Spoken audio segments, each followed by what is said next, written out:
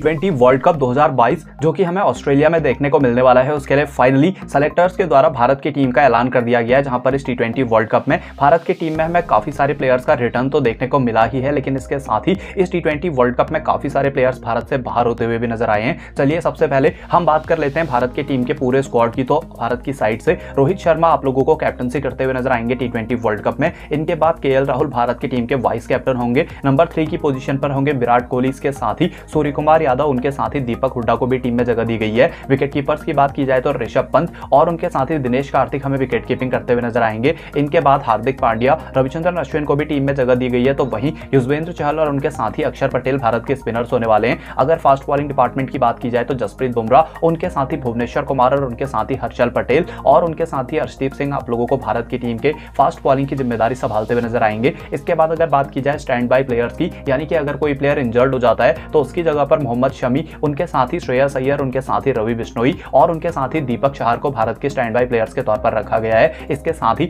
सबसे पहले अगर हम बात कर लें पूरे टी ट्वेंटी स्क्वाड की हाईलाइट्स की तो यहाँ पर रविंद्र जडेजा भारत के स्क्वाड से रूल्ड आउट हो चुके हैं अपने इंजरी के इश्यूज़ की वजह से। इसके साथ ही संजू सैमसन को टी वर्ल्ड कप में जगह नहीं दी गई है। इसके साथ ही दिनेश कार्तिक और उनके साथ ही हर्षल पटेल का हमें रिटर्न देखने को मिला है। कॉमेंट करके आप लोग बताइए। आप लोग इस स्क्वाड को 10 में से कितने नंबर देंगे? इसके साथ ही वीडियो को लाइक करके हमारे चैनल को ज़रूर कीजिए। सब्सक्राइब